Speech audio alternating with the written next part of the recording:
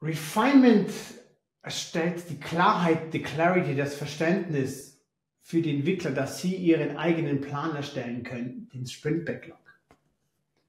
Refinement ist letztendlich dafür da, alles in Kontext zu bringen. Die Geschichte zu verbinden, die Narrative, also was, wo kommen wir her, wo wollen wir hin durch unsere zukünftigen Sprint Goals. Ich mache das und ich empfehle dir, mach das mit dem kompletten Scrum-Team und lade auch Stakeholders ein, wenn es sinnvoll ist. Ich persönlich, ich mache das gerne jede Woche, jede Sprintwoche für zwei Stunden mit dem kompletten Scrum-Team und auch Stakeholders, wenn es wie gesagt Sinn macht. Aber für mich alles, alle Zusammenarbeit, alle Gespräche, die zwischen den Entwicklern stattfindet in dem momentanen Sprint, um Klarheit zu erschaffen, was können wir machen den, oder wie können wir das machen in den nächsten Sprints, gehört für mich so in diesen großen Container Refinement.